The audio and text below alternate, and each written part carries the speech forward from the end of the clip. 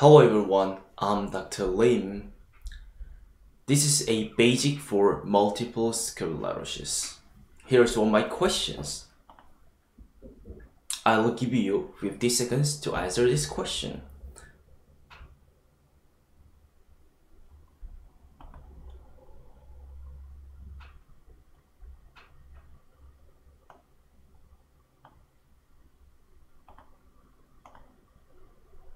Alright.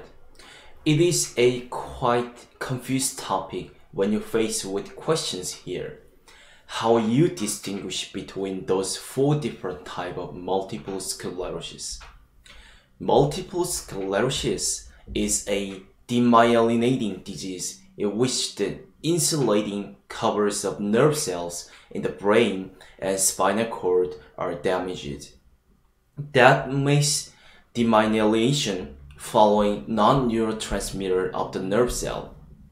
In my case, I try to memorize as RPSP.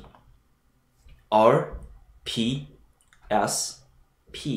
Alright? Which is the initial spelling that you can easily understandable and easily memorize it. Relapsing and remitting. That means what it means. It means attack attack then some recover period right? Attack then recover. So it called relapsing and remitting multiple sclerosis. The first initial r all right and second primary progressive multiple sclerosis. Steady increase demyelinating which it appears signs and symptoms getting worse. Just just getting worse start from here and uh, worse, all right? That's the primary.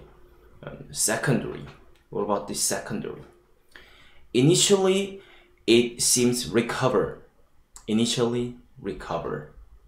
But after initial pace, there is no recover anymore like primary sclerosis so it getting worse after recovery periods then steady worse all right and the last progressive relapsing multiple sclerosis.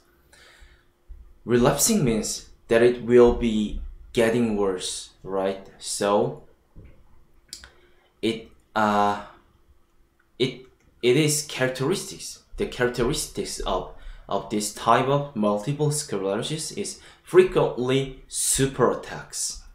Super attacks came to them.